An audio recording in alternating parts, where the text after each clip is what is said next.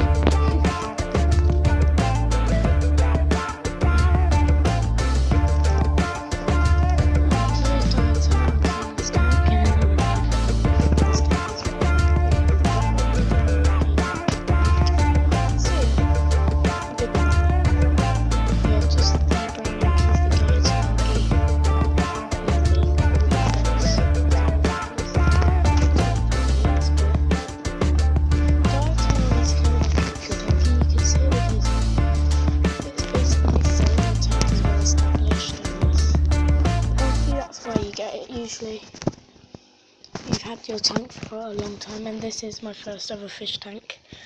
Had it for about seven years. Just, a, just under seven I'd say.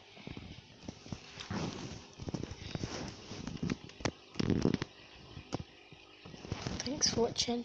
Please like, comment, subscribe and share. Bye.